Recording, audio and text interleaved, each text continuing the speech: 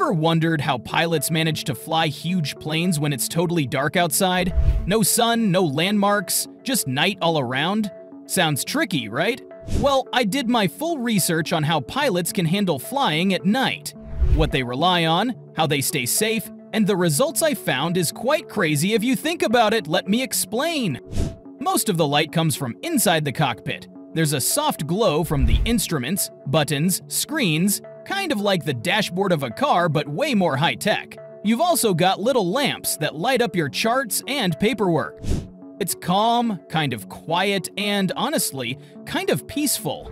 But that doesn't mean it's easy. Flying at night comes with a whole new set of challenges. Can planes use headlights? Let's get this out of the way. Planes don't really have headlights like cars do. They have landing lights, which are super bright and help during takeoff and landing. But once the plane is up in the air, those lights aren't really useful. Why? Because there's nothing to shine light on. It's not like driving on a road where the light reflects off trees or pavement. In the sky, there's nothing to bounce the light back. It just disappears into the darkness. So instead of relying on lights to see where they're going, pilots use instruments. Instruments do all the talking. When you can't see outside, your instruments become your eyes. Pilots are constantly looking at screens and gauges that show altitude, speed, direction, pitch, and other stuff. There's one called the attitude indicator, not about mood, don't worry. It shows if the plane is level, climbing, or diving. There's also the altimeter, which shows how high you are, and the heading indicator, which tells you which direction you're going. At night, these tools are your best friends. They tell you everything, even when outside looks like nothing. City lights versus darkness. Flying over a big city at night can actually help a lot. When everything else outside is dark, a city lights up like a giant glowing map. You can see it from really far away, sometimes even before you're close to it. All the streetlights, buildings, cars, and signs blend together into this glowing, twinkling sea of lights. It's honestly one of the most amazing views you can get from a plane. It almost looks like the ground is covered in stars. You can spot the grid of streets, the shape of neighborhoods, even the darker patches where parks or lakes are. It gives you a good idea of where you are without even needing to check the instruments. For pilots, it's a nice visual reference. Even though they rely on their screens and tools to fly, having that big glow of a city down below helps you feel a bit more grounded. Like, okay, I know where I'm at. And for passengers, it's just plain awesome to look at. But flying over water, or mountains, or places where hardly anyone lives? That's a whole different story. It can be completely dark out there, like pitch black. No lights from houses, no roads, no buildings, sometimes not even the moon, just straight up darkness in every direction. When you're flying in spots like that, you can't look out the window and figure out where you are. It's not like flying over a city where the lights help guide you. Out there, it feels like you're just floating in nothing. That's when pilots really have to rely on their instruments. The screens and gauges in front of them become their eyes. They tell them how high they are, which way they're going, and if the plane is level or not. Pilots also fall back on all the training they've gone through, hours and hours of practice flying in the dark or in bad weather where they can't see outside. Though even when the view out the window is just blackness, the pilots still know exactly what's going on. They've got the tools and the know-how to handle it. Night vision tricks. Here's something cool. The human eye takes time to adjust to darkness. Pilots usually dim the cockpit lights so their eyes can adjust.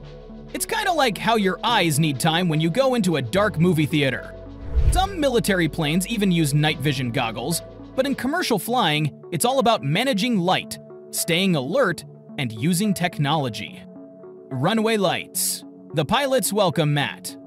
When it's time to land, airports light up like Christmas. Runways have all kinds of lights white, green, blue, red each one telling the pilot something important.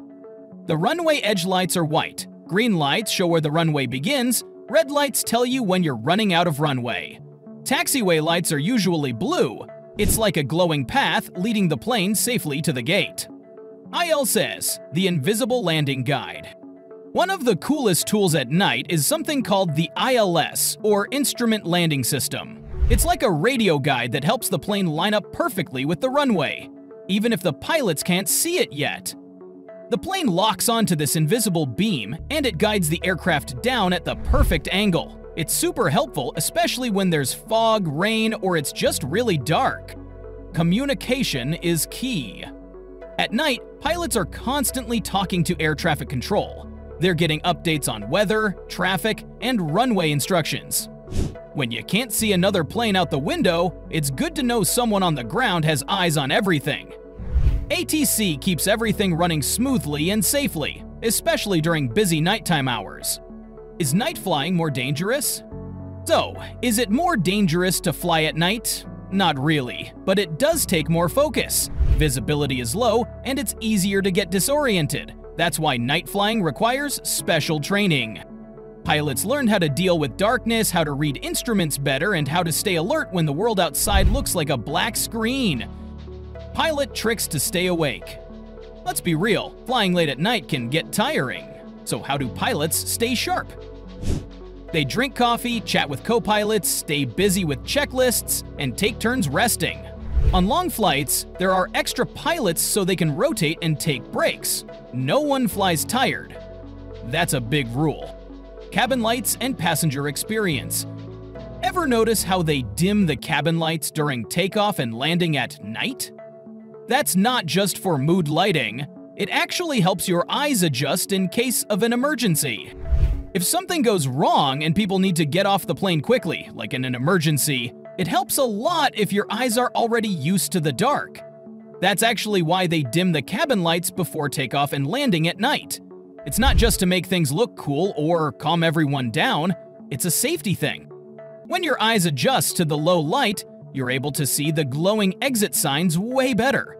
If the lights suddenly go out or smoke fills the cabin, those signs will be the only thing helping you find your way out. And if your eyes are already used to the dark, you won't waste time adjusting. You'll see them right away. Pretty smart, right? It's a, it's a little thing, but it could make a big difference when every second counts. Why some pilots love flying at night. Believe it or not, a lot of pilots actually like flying at night more than during the day. And it's not just because it looks cool up there with all the stars and city lights. There are some real reasons behind it. First off, the air is usually smoother at night, there's less heat coming off the ground, which means fewer bumpy pockets of air. That means not as much turbulence, and the ride feels more steady. You're not bouncing around as much, which is nice for both the pilots and the passengers. Also, storms like thunderstorms are more common during the day when the sun heats everything up. At night, there's usually fewer of them to deal with, so the weather tends to be more calm. And there's another bonus less traffic. Fewer planes are flying around at night compared to the daytime rush hours, so the skies aren't as crowded. That makes things a little easier for pilots and air traffic control. You're not having to dodge as many other flights, or wait in long lines to take off or land. All in all, night flying can actually be more relaxing for the pilots. It's quieter, smoother, and just a bit more peaceful up there. And the view? Absolutely stunning. You get a clear view of the stars, the moon, lightning storms from a distance, and cities glowing far below. It's peaceful, quiet, and kind of magical. Final thoughts. And that's how pilots fly at night. It takes skill, training, and a whole lot of trust in your instruments. But with all the tools they have today, flying in the dark isn't scary, it's just a different kind of flying. If you enjoyed this video, make sure to like and subscribe to see more videos like this.